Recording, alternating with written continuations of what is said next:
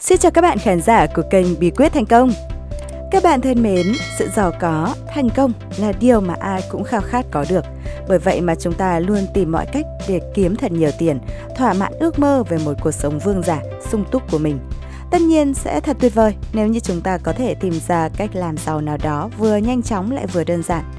Song trên đời này, ngoại trừ việc bạn được sinh ra trong một gia đình tài phiệt, được thừa kế khối tài sản cách xù của chính gia đình mình, thì chẳng có công việc nào có thể giúp bạn giàu lên nhanh chóng chỉ trong ngày 1, ngày 2. Thậm chí nhiều trường hợp trong thực tế có gia đình tài phiệt làm hậu phương nhưng họ vẫn chẳng có gì trong tay. Bởi lẽ thế giới văn minh hiện đại đã không còn chỗ cho những tư duy làm giàu theo kiểu con vua thì lại làm vua nữa. Muốn thành công, giàu có thực sự không có cách nào khác là bạn phải tự bước đi trên chính đôi chân của mình, tự nỗ lực cố gắng và học hỏi theo kinh nghiệm của những người đi trước. Tất nhiên, mỗi người sẽ có con đường khác nhau để đi đến thành công. Nhưng nếu quan sát tỉ mỉ một chút, bạn sẽ nhận thấy những tấm gương thành công, giàu có nổi tiếng trên thế giới mà chúng ta biết hiện nay đều có một điểm chung.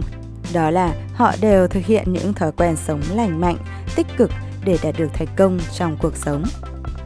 Vậy những thói quen nào có thể giúp một người bình thường trở nên giàu có và thành công?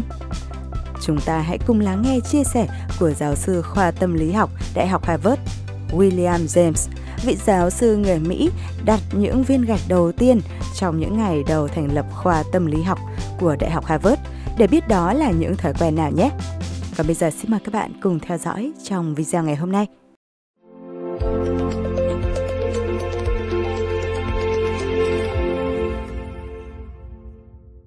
Giáo sư khoa tâm lý học Đại học Harvard William James là tác giả những cuốn sách có ảnh hưởng lớn tới khoa học tâm lý, tâm lý học giảng dạy, tâm lý học trải nghiệm tôn giáo và chủ nghĩa thần bí, cũng như tâm lý học về chủ nghĩa thực dụng thời kỳ đầu. Trong sự nghiệp nghiên cứu tâm lý học của mình, giáo sư từng phát biểu gieo một hành động, gặt một thói quen, gieo một thói quen, gặt một tính cách gieo một tính cách, gặt một số phận. Từ đó ông cho rằng nếu một người muốn bản thân giàu có hơn mỗi ngày, hãy bắt đầu từ 8 thói quen đơn giản sau. Thói quen đầu tiên, cười nhiều hơn. Trong cuộc sống sẽ có lúc chúng ta cảm thấy rất khó khăn, cảm thấy mất niềm tin vào cuộc sống. Thế nhưng tất cả những điều đó sẽ không là gì nếu như bạn luôn lạc quan và mỉm cười chỉ bằng cách mỉm cười, bạn mới có thể vượt qua những trở ngại và đứng dậy bước tiếp cho tương lai phía trước. Ngược lại, nếu chỉ biết than thở và nằm ườn một chỗ, bản thân bạn chỉ ngày càng nghèo hơn mà thôi. Chuyện kể về một nhân viên chuyển phát nhanh tên là Peter. Anh ấy là một người rất tận tâm với công việc. Ngày đầu đi làm, Peter đã hào hứng in 1.000 danh thiếp để phát cho mọi người và mong khách hàng sẽ nhớ đến anh gọi cho anh khi cần. Nhưng dường như không ai để ý tới anh và tấm danh thiếp ấy. Có người cho vào túi rồi quên đi, có người mắng anh là đồ phiền phức. Với nụ cười luôn nở trên môi, Peter không hề nản lòng. Anh cúi xuống nhặt danh thiếp lên và tiếp tục gửi cho khách hàng tiếp theo. Nhiều đồng nghiệp đã nghỉ việc vì công việc chuyển phát nhanh, cực khổ và khó khăn nhưng Peter vẫn kiên trì làm tốt hơn mỗi ngày. Với nụ cười luôn nở trên môi và cuối cùng được thăng chức lên vị trí lãnh đạo công ty. Bạn thân mến, dẫu biết áp lực cuộc sống luôn đè nặng lên vai chúng ta, mỗi người trưởng thành đều phải đeo trên vai những gánh nặng về công việc, gia đình hay tài chính. Dù vậy, hãy thẳng thắn đối mặt với thực tế và học cách mỉm cười các bạn nhé. Thói quen thứ hai, nói ít hơn. Nhà văn Lỗ Tấn có một câu nói nổi tiếng, khi tôi im lặng, tôi cảm thấy no, khi tôi nói, tôi cảm thấy trống rỗng. Trang Tử cũng từng nói, cảnh đẹp nhất không thể diễn tả bằng lời, sức mạnh lớn nhất là sức mạnh của sự im lặng. Người càng bốc đồng, làm không nên chuyện thì càng thích nói nhiều, vì họ đang cố gắng dùng lời nói để lấp đầy sự trống rỗng trong lòng. Ngược lại, những người thực sự trưởng thành biết cách im lặng cúi đầu, âm thầm tránh xa những rắc rối từ việc vạ miệng, âm thầm học hỏi, trau dồi bản thân. Vì vậy, hãy ghi nhớ rằng nói ít hơn, làm nhiều hơn, âm thầm trau dồi, hoàn thiện bản thân, bạn sẽ ngày càng giàu có hơn. Thói quen thứ ba, đọc nhiều hơn. Những người thành công đều có chung thiên hướng mọt sách. Họ dành nhiều thời gian quanh quẩn bên những cuốn sách. Việc đọc trở thành một khoản đầu tư đầy giá trị và mang lại lợi nhuận lớn cho cuộc đời họ. Những tấm gương lớn giúp chúng ta có niềm tin vào việc đọc sách có thể kể tới như Bill Gates, Warren Buffett, Mark Zuckerberg. Khoảng thời gian khởi đầu của sự nghiệp đầu tư, Warren Buffett đã đọc 600 đến 1.000 trang sách mỗi ngày. Cho đến hiện tại, Buffett vẫn giữ thói quen dành hơn 80% thời gian bên cạnh những quyển sách với châm ngôn. Không cần biết bạn đang ở vị trí nào của cuộc đời, chỉ cần không ngừng học hỏi, sự thành công sẽ tìm đến bạn. Hay Bill Gates, doanh nhân giàu nhất thế giới, vẫn sống cuộc đời của một mọt sách. Ông đọc hơn 50 đầu sách mỗi năm và bỏ qua các loại sách giả tưởng.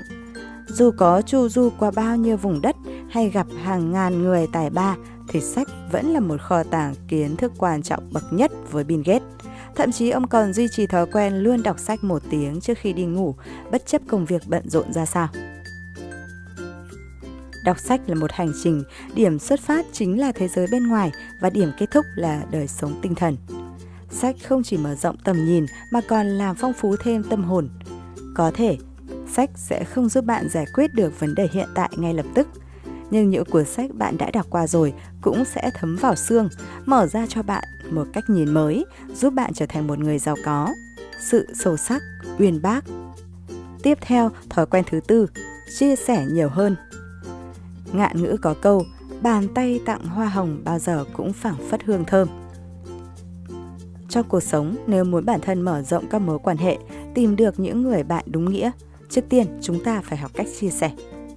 Những người vì sợ bản thân chịu thiệt thòi, không muốn cho đi, chỉ biết lợi dụng người khác để đoạt lợi, thường là những người không có bạn bè hoặc chỉ vì một cái cây mà mất cả một cánh rừng.